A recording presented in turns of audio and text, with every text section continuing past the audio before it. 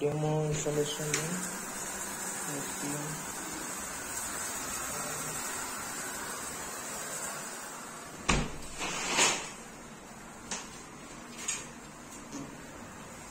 Leakage नहीं है? सब चेक कर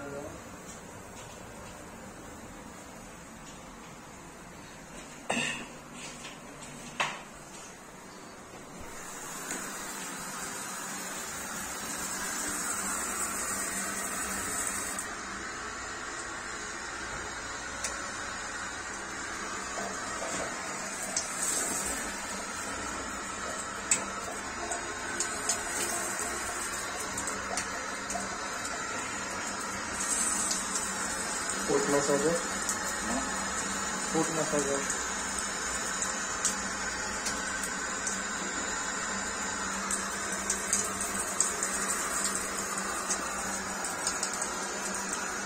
madam को दिखाओ।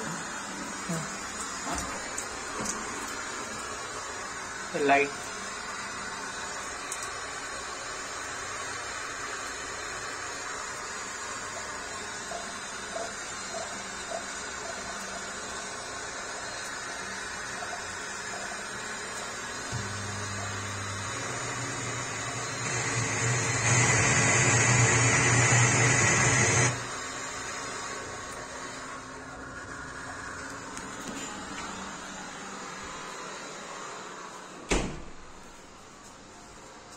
पूरा सिलिकॉन लगाया इसका